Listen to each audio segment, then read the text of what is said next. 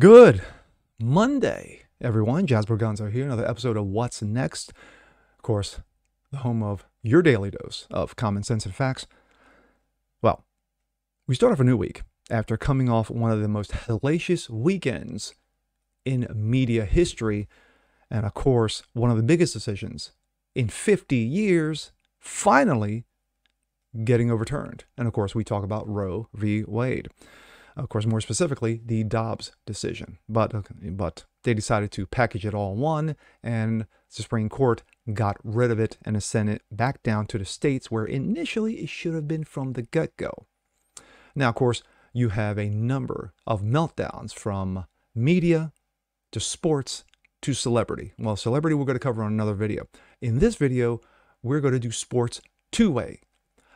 One who's a clown, and the other you thought you had common sense, but you may want to think about it again. Let's take a look. This comes out of Breitbart. Too dangerous to vote Republican. Barstool Sports chief Dave Portnoy, who is also known as El Presidente, rips Supreme Court for overturning Roe. On Friday, immediately after the U.S. Supreme Court overruled Roe, Barstool Sports chief Dave Portnoy ripped the decision, exclaimed that Republicans are too dangerous to vote for, even if people are stuck with morons like Joe Dementia. Portnoy took to his Twitter account with a video Friday to tell his fans uh, that the High Court's Dobbs ruling is pure insanity. We're going backwards in time, Portnoy exclaimed. We're literally going backwards in time. It makes no sense on how anyone thinks it's their right to tell a woman what to do with her body. I just don't get it. Let's listen a bit. Okay, emergency press conference. Uh, Roe versus Wade just got overturned. Let me start by saying this is a Dave Portnoy press conference. This doesn't reflect Barstool, all right? Barstool is 300 whatever people. They all may think certain ways. This is just me, how I feel. I feel like I have to speak on this issue. I already talked about it a little bit. To me, this is just pure insanity. Pure insanity. We are going backwards in time. We are literally going backwards in time. It, it, makes no sense how anybody thinks it's their right to tell a woman what to do with her body. I just don't get it. To take away the ability to make informed decisions on how they want to live their lives is bananas. I know people will be like, well, no, it's a constitutional issue. They're just giving it to the states. Well, like what? 20 states are saying they're going to overturn it right away. And what if you're poor in that state and you can't go to another state things like that? It's just nuts to me. Not to mention, the same people are saying, you know, they want to take it away and overturn it are also like, got to protect guns because of the Constitution. At what point do you look at the Constitution and say, hey, this was written by people who had slaves? Maybe not everything is exactly to a T in the Constitution. Like a million years from now, you're going to use a document written in the. It's just nuts. In what world? The world evolves. Okay. Let's continue reading. Portnoy said it's bananas that the court moved away from its women's informed decisions on how they may lead their lives.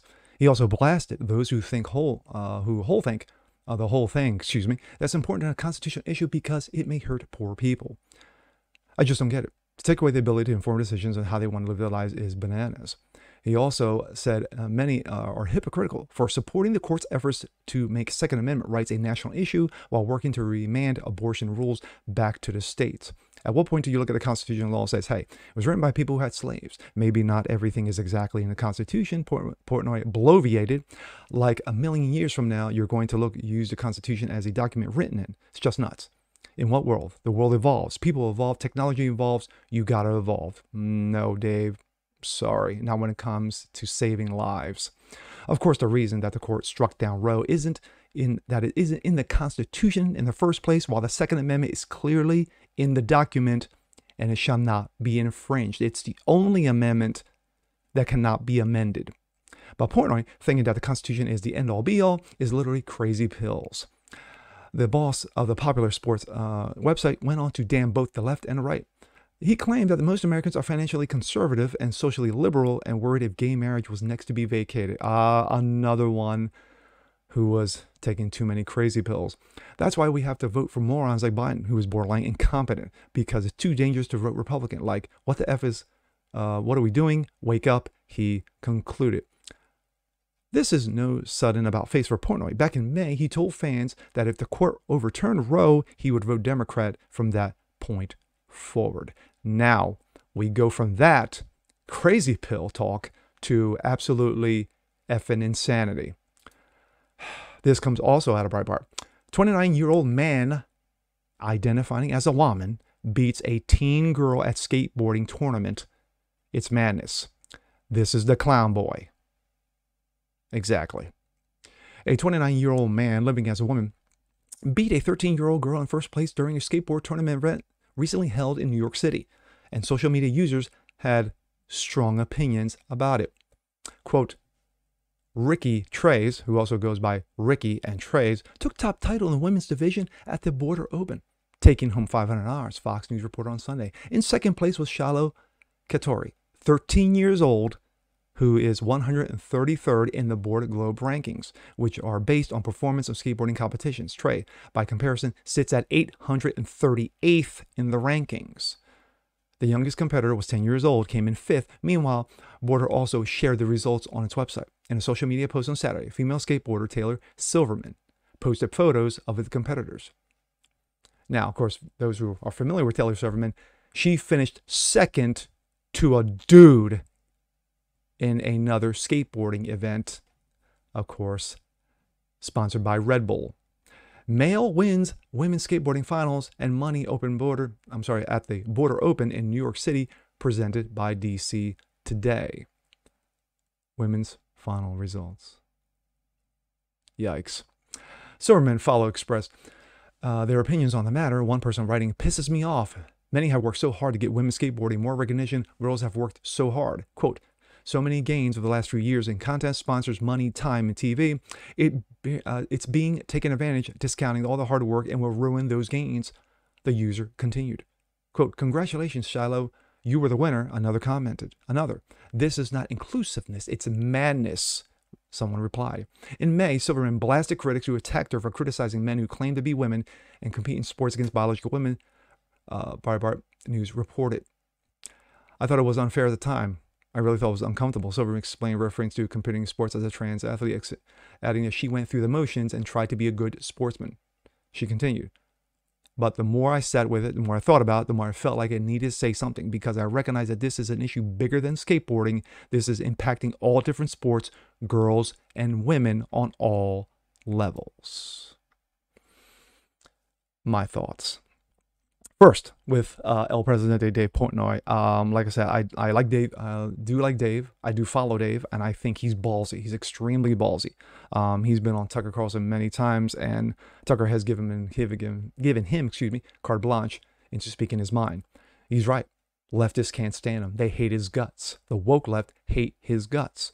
But at the same time, he's doing the right no favors. So basically, Dave, you want to vote for morons like Dementia Boy in again in 22 and in 24 because you got butthurt regarding Roe because it's a woman's choice. But of course, as we all know, that abortion is not in the Constitution. It is not a protected right. It is a made up right out of whole cloth. Even Ruth Bader Ginsburg said herself in a 74 press release, she felt that she agreed with the premise, but it was bad case law. Comparing it to the Second Amendment, which, again, shall not be infringed, is the only amendment in the Constitution that cannot be amended. It's the only one.